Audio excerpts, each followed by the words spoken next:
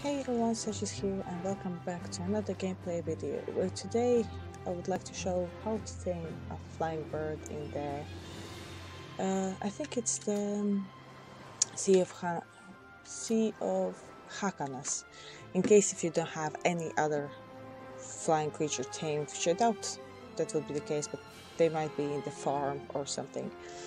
So without further ado we'll just straight in jump into water where it is safe to do so. Oh no, it Well, I'm still alive. And you just find a place where you can stand. Now, so if you find a good spot, uh, the hardest thing is to actually get the animal to come towards you. So you could be out of range or it wouldn't want to like attack you or anything. So just try go into its range and attack and you need to fight right there because if if you go out of his uh, side vision pretty much he's not gonna go near you. It's not gonna bother.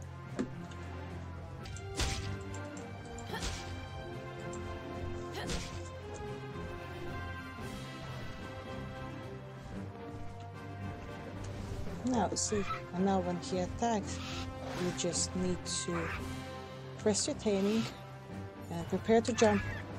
And sometimes you need to press space once, sometimes you need to twice, you need to kind of figure out between those two. And then just tame your animal. The main point is for the animal to come to you. And that's how you tame someone who's in the same in the new area, for example. And that's how you tame a local animal, flying animal to be exact. Hmm. Hope this helps.